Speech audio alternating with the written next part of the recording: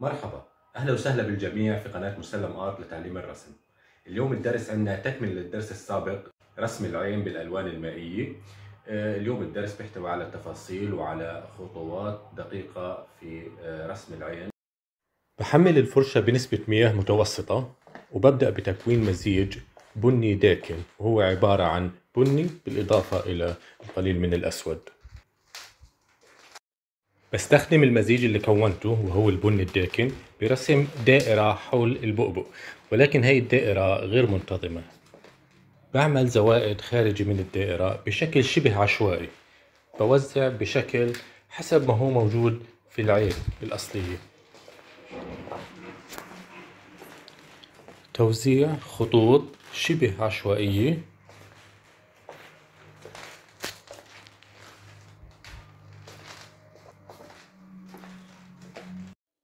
بقوم بتنظيف الفرشاة بالماء. بالفرشاة النظيفة والمحملة بقليل من الماء ببدأ بدمج حواف الخطوط اللي رسمتها واللي هي عبارة عن دائرة ولكن الجزء الخارجي خطوط عشوائية. ببدأ بدمجها بشكل خفيف من الخارج ومن الجهة الداخلية المحاذية لبؤبؤ العين.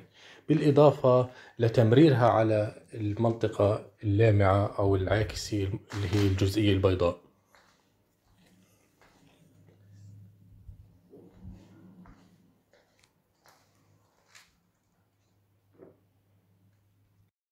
أكون خليط جديد وهو عبارة عن بني داكن أكثر دكانة من البن السابق وذلك بإضافة أكثر نسبة من الأسود. وتقليل نسبة المياه لأني بدي لون أكثر كثافة حتى أرسم فيه الحواف. ببدأ برسم خط عريض وتحديد قرنية العين. الخط يبدأ بالتناقص تناقص في العرض كل ما أمشي على حدود دائرة. ولكن لما أرجع أطلع بيبدأ يتزايد في العرض. الخط دقيق وكثيف. وفي الجزء الأخير برجع بظلل الجزء العلوي من قرنية العين حتى يكون ظل للجفن العلوي للعين. بقوم بتنظيف الفرشة من الخليط السابق بالمياه من ثم التمرير على المنديل الورقي باستخدام الفرشاة النظيفة والمحملة بنسبة من المياه بقوم بدمج الخط السابق اللي كونته حول قرنية العين. الدمج بيكون بطريقة سحب اللون من الخارج إلى الداخل أي من خارج من زو من إطار القرنية للداخل. بمر بقوم بالعملية هاي على الخط كامل على الدائرة كاملة.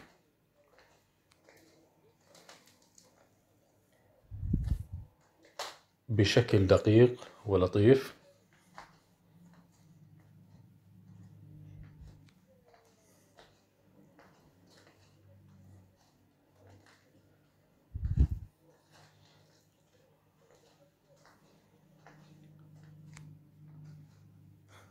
برجع بكرر إذا احتجت في بعض الأماكن.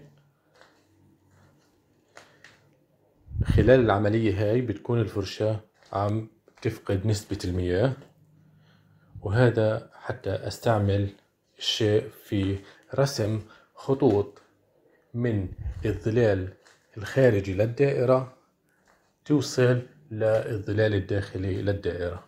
هاي الخطوط دقيقة ورفيعة لأنه بتكون الفرشة فقدت نسبة المياه. وبتكون الفرشة أكثر حدة فبترسم خطوط دقيقة ورفيعة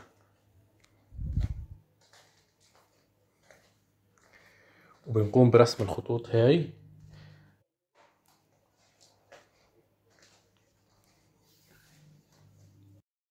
برجع بكون نفس الخليط السابق وهو البني الداكن المزيج بين الأسود والبني ولكن أكثر نسبة من الأسود. ولكن هالمرة بقوم بتمرير الفرشة على المنديل الورقي لحتى تكون أكثر حدة. بالفرشاة المدببة والمحملة باللون الأس... البني الغامق وهو المزيج بين الأسود والبني بقوم برسم خطوط متباعدة على إطار الدائرة تمتد من الطرف الخارجي للداخل ولكن تمتد فقط لتغطية الظلال الداكن حول الدائرة. هذه الخطوط بتكون على الإطار كامل بشكل دقيق ومتفرق متباعد نسبيا. ولكن في الطرف العلوي للدائرة بقوم برسم الخطوط متقاربة شبه متلاصقة وكثيفة.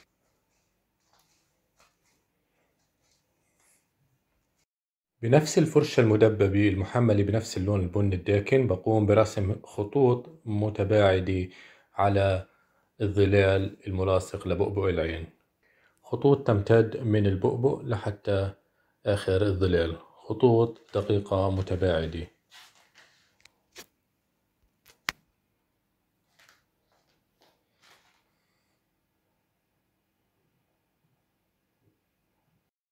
بقوم بتنظيف الفرشة بالمياه والتمرير على المنديل الورقي وبكرر هاي العملية عدة مرات حتى أنظف الفرشة بشكل تام.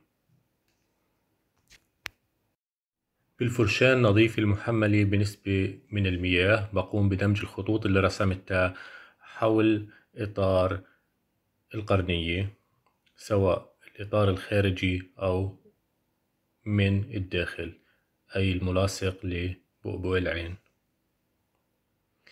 دمج بشكل لطيف وخفيف.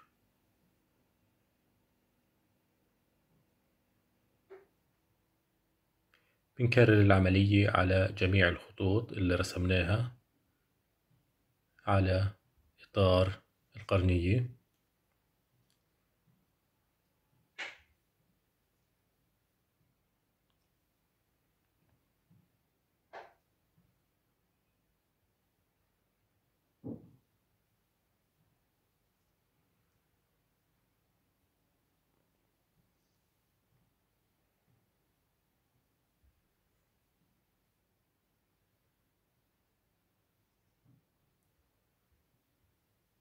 بعد ما أحمل الفرشة بلون أسود خفيف أي أسود ونسبة مياه كثيفة بقوم بتمرير الفرشة بشكل خفيف جدا على الإطار الخارجي أي على الخطوط اللي رسمتها سابقا وبغطيها وبدمج بشكل خفيف. بفرشة محملة بلون بني خفيف محمل بنسبة مياه عالية بقوم بالدمج وتغطية المنطقة الفاتحة بين الجزء الخارجي أي الإطار الخارجي والإطار الداخلي ولكن بشكل خفيف ومع دمج بين المنطقتين المنطقة الداخلية والمنطقة الخارجية.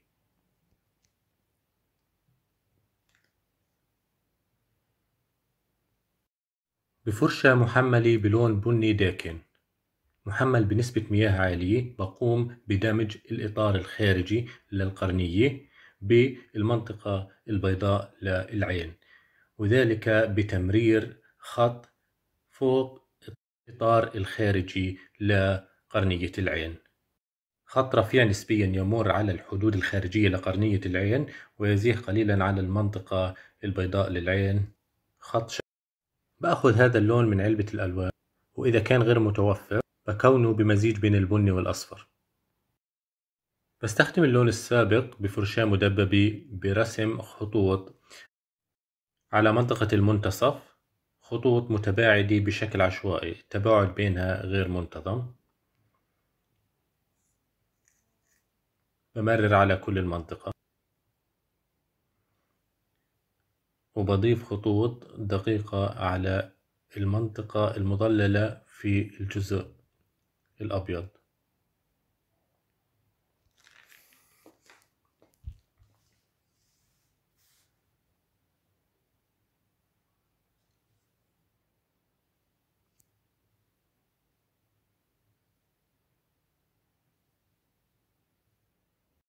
بنظف الفرشة وبكون مزيج جديد من اللون السابق ولكن بضيف قليل من الأبيض لحتى اللون يقل من دكانة اللون. بالخليط الجديد المحمل بنسبة من المياه بقوم برسم خطوط عشوائية غير منتظمة وغير دقيقة كما يظهر في الفيديو. الخطوط بتكون أكثر لمعان في منطقة الوسط وبتقل على الأطراف بتكون أقل حدة بما أنه قلت نسبة المياه فيه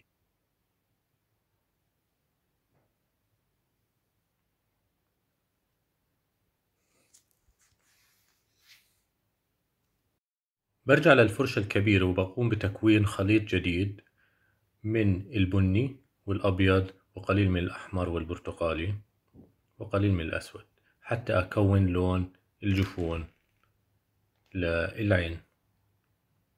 هالمزيج بكون محمل بنسبة أكبر من المياه لحتى أغطي مساحة أكبر للجفن. نسبة المياه بتكون أكثر لحتى أغطي مناطق أوسع. بستخدم الخليط لرسم خط الجفن السفلي الملاصق لبياض آه، العين بشكل دقيق.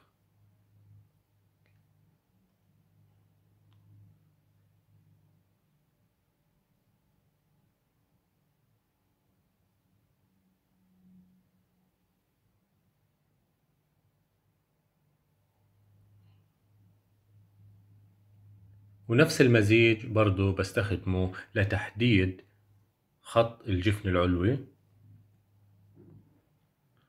برضو بنفس الدقة.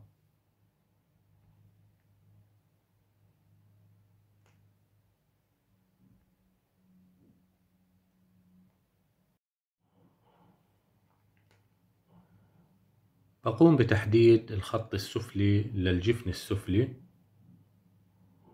بنفس الخليط وبشكل دقيق.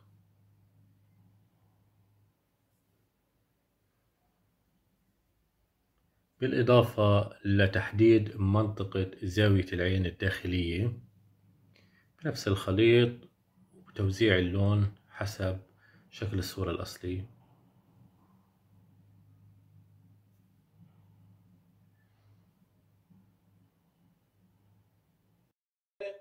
اعلاميين فنانين ممثلين آه، منهم مع منهم ضد. رح أعطيك كم اسم. مثلا النجمة هيفا وهبة رفضت تعمل البختة آه، مايا دياب رفضت. راغب رفض بالأول امبارح آه، قال إنه هو معه. بده رح يعمل. تالا شمعون. رح تعمل بختة أو ما رح تعمل بختة هلأ أنا كثير يعني هيك شوي بدي أسألك إنه مع نحن عم نتابع وعم نشوف إنه هن الأشخاص نفسهم العاملين. بكون خليط جديد من الأبيض وقليل من الأحمر والبني الفاتح البني المتوفر في علبة الألوان الأصلية. إذا كان غير متوفر بقلل نسبة البني اللي باخذها.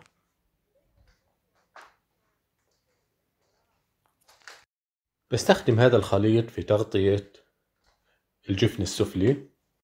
هذا الخليط محمل بنسبة مياه أعلى حتى إنه يمد ويغطي المساحة للجفن السفلي بما إنها مساحة متسعة.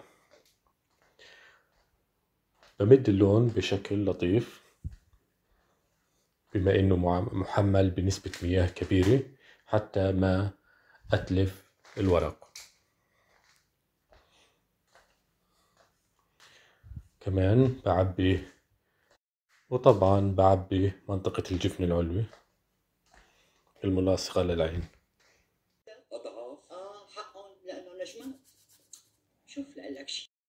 بنفس الخليط بكمل تعبئة للجفن العلوي وتغطية المساحة بشكل كامل. بحذر لحتى ما أتلف الورقة بما إنه الفرشة محملة بنسبة مياه عالية.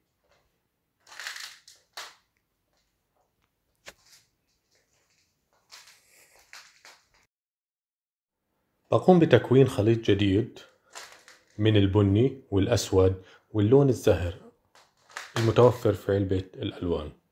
هذا اللون كثيف محمل بنسبة مياه أقل لحتى يكون صالح للتحديد لتغطية مناطق ضيقة ورسم خطوط دقيقة. بستخدم الخليط السابق في تحديد خط الجفن العلوي وبمده بشكل دقيق ومحدد.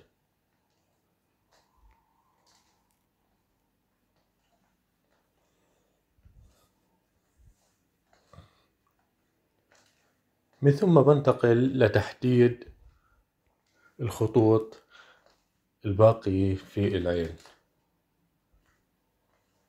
خط الجفن السفلي زاوية العين الداخلية.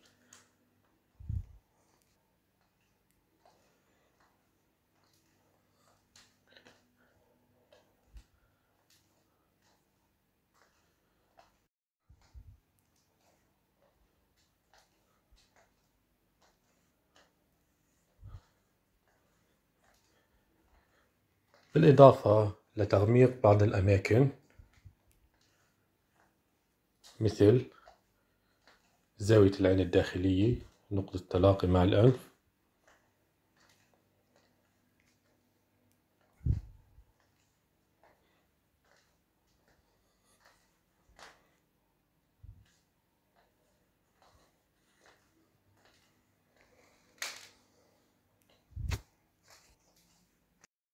برجع للفرشة الصغيرة وبحملها بنفس الخليط. بني فاتح وقليل من الأحمر والأبيض وببدأ بدمج الخطوط ومدها باتجاه العين. الفرشة محملة بنسبة مياه متوسطة ولون ذو كثافة قليلة.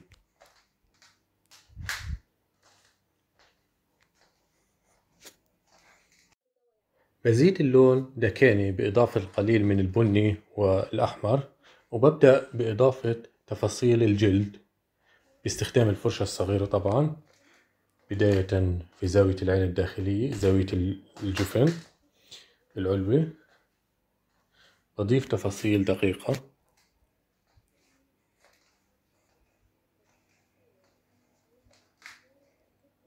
خطوط حسب ما يظهر معي في الصورة. الأصلية.